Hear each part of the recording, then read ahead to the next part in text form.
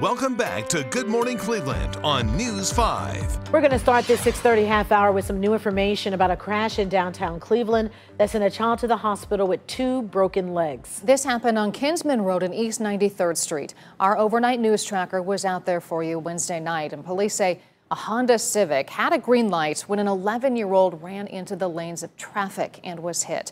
Police are still investigating.